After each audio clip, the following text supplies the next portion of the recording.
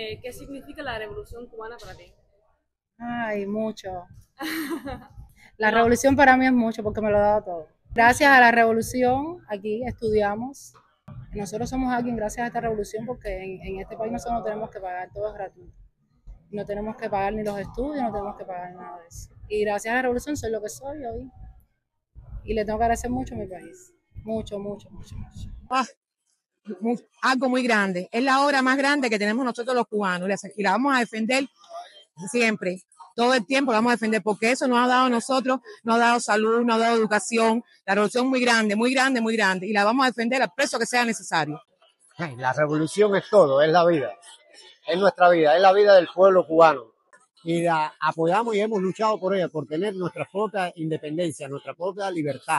Ayudamos a todo el mundo, en todos los sectores, en todo lo que está a nuestro alcance, lo hemos apoyado. Con pocos recursos, pero hemos apoyado al mundo entero en todas las direcciones.